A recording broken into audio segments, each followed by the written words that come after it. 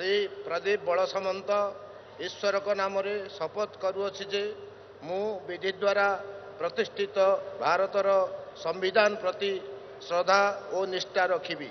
ଭାରତର ସାର୍ବଭୌମତ୍ୱ ଓ ଅଖଣ୍ଡତା ରକ୍ଷା କରିବି। ଓଡ଼ିଶା ରାଜ୍ୟର ମନ୍ତ୍ରୀ ରୂପେ ମୋର କର୍ତ୍ତବ୍ୟ ଶ୍ରଦ୍ଧା ଓ ଶୁଦ୍ଧ ଅନ୍ତଃକରଣରେ ନିର୍ବାହ କରିବି ଏବଂ ବିନା ଭୟ ବା ପକ୍ଷପାତରେ ବିନା ଅନୁରାଗ ବା ଦେଶରେ ସବୁ ପ୍ରକାର ଲୋକଙ୍କ ପ୍ରତି ସମ୍ବିଧାନ ଓ ବିଧି ଅନୁସାରେ ନ୍ୟାୟ ପ୍ରଦାନ କରିବି। ମୁଁ ଶ୍ରୀ ପ୍ରଦୀପ ବଳ ସାମନ୍ତ ଈଶ୍ୱରଙ୍କ ନାମରେ ଶପଥ କରୁଅଛି ଯେ ଯେଉଁ ବିଷୟ ରାଜ୍ୟର ମନ୍ତ୍ରୀ ରୂପେ ମୋର ବିଚାରକୁ ଅଣାଯିବ ବା ମୋତେ ଜ୍ଞାତ ହେବ ତାହାକୁ ଏପରି ମନ୍ତ୍ରୀ ରୂପେ ମୋର କର୍ତ୍ତବ୍ୟର ସମୁଚିତ ନିର୍ବାହ ନିମିତ୍ତ ଯେପରି ଆବଶ୍ୟକ ହେବ ତଦ୍ ଭିନ୍ନ ପ୍ରତ୍ୟକ୍ଷ ବା ପରୋକ୍ଷ ଭାବେ କୌଣସି ବ୍ୟକ୍ତି ବା ବ୍ୟକ୍ତିମାନଙ୍କୁ ଜଣାଇବି ନାହିଁ ବା ପ୍ରକଟ କରିବି ନାହିଁ